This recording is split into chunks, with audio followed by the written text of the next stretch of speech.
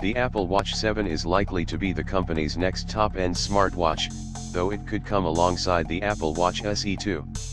It'll succeed the Apple Watch 6, the company's 2020 powerhouse, but hopefully with some new features.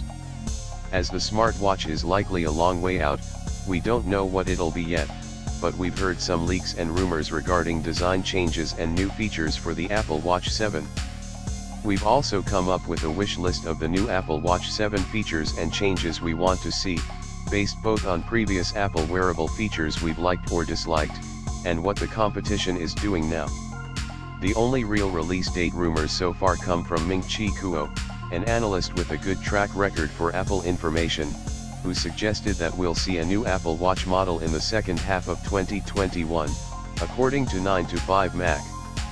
This isn't at all surprising though, since for years now Apple has been launching new Apple Watches in September.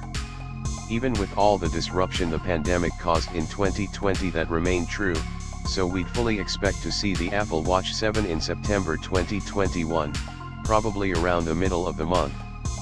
As for what it will cost, there's no news there, but Apple has been fairly consistent with pricing too.